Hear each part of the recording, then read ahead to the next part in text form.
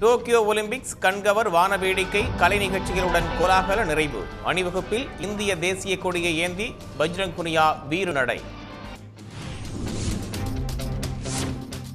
Tokyo ஒலிம்பிக்ஸில் முப்பத்தி ஒன்பது தங்கம் உட்பட நூற்றி பதிமூன்று பதக்கங்களை வென்று அமெரிக்கா முதலிடம்.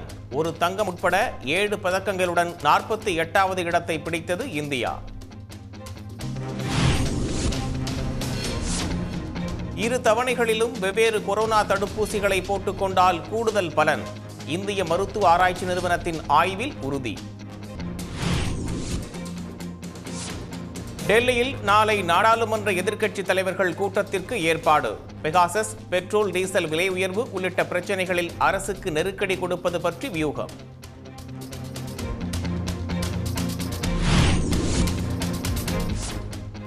உள்ளாட்சி தேர்தல் வியூகம் குறித்து திமுக மாவட்ட செயலாளர்களுடன் முதலமைச்சர் மு ஸ்டாலின் ஆலோசனை. மாநில அரசின் நலத்திட்டங்களை மக்களிடையே கொண்டு சேர்க்க அறிவுறுத்தல்.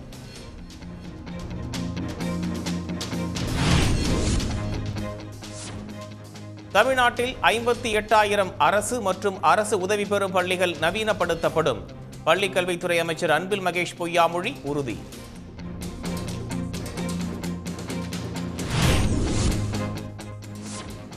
கரூரில் ஏழை எளிய மக்களை வாட்டி வதைக்கும் கந்துவட்டி கும்பல் ஸ்பீடு வட்டி மீட்டர் வட்டி என்று பல்வேறு பெயர்களில் பகல் கொள்ளை.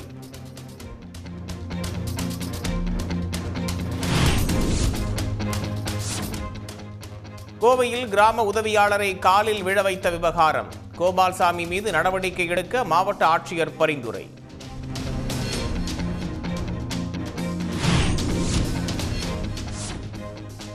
பட்டியல் பிரிவினர் மீதான அவதூறு பேச்சு தொடர்பாக நடிகை மீரா மிதுன் கைதாவாரா? ஏழு பிரிவுகளின் கீழ் வழக்கு பதிவு செய்து காவல்துறை நடவடிக்கை.